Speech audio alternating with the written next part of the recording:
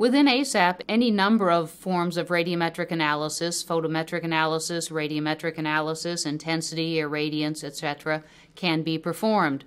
Let's take a look at several sample calculations. And I'm going to open up a file.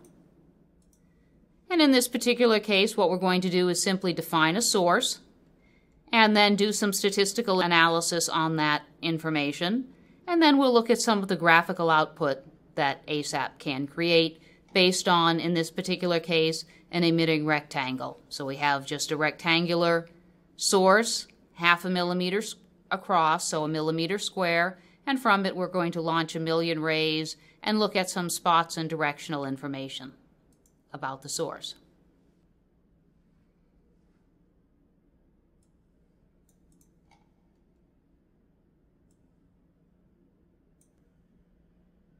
And we'll let ASAP complete the calculation and then we'll look at some of the information that we've got available. Okay, and let's take a look at some of our analysis. Um, the flux density, by default, the emitting rectangle is Lambertian. There is also an ISO option that you can just type at the end of it if you want isotropic data. You could also have put an apodization or applied an apodization function to the data. But this is what I would expect for the flux density of a Lambertian source in watts per square millimeter, and here's a contour plot of the same data. If we look at the projected flux density, again, the same information. And here's our angular flux density in direction cosine space.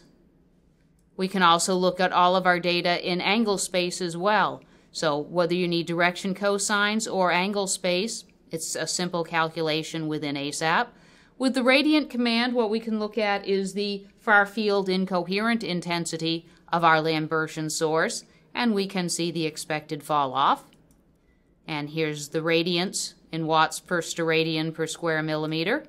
And what we do now is rotate the source plus and minus 45 degrees, and again, calculate the same information. So within ASAP, once you've trace the rays through your optical system, you can perform any number of calculations to get any type of radiometric information without having to trace the rays through any additional times.